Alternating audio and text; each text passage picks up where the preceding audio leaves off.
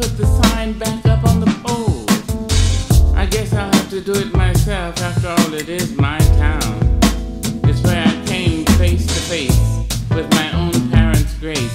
It's where I made my very first friend and saw my first love affair end.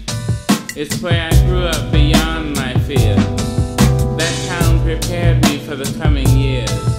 There, time seemed to hold its breath, as if I I can still hear the raindrops on the roof.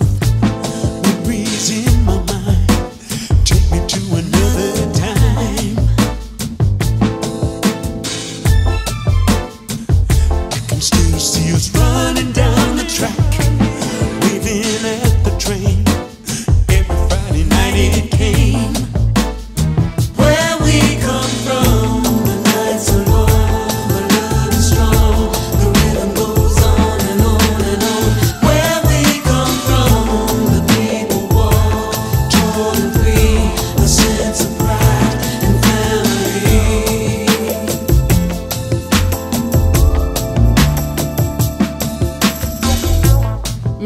Porter's house and Miss Williams' porch were our mosque, where we flirted and spied and laughed and cried. A little church sat in a pool of shade, and the schoolhouse rested in a sweet green glade.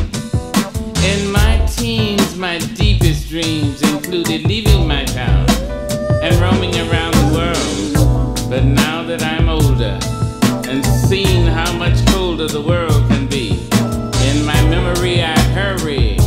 They haven't changed the block where I grew up. Never took away that beat up old rusty truck.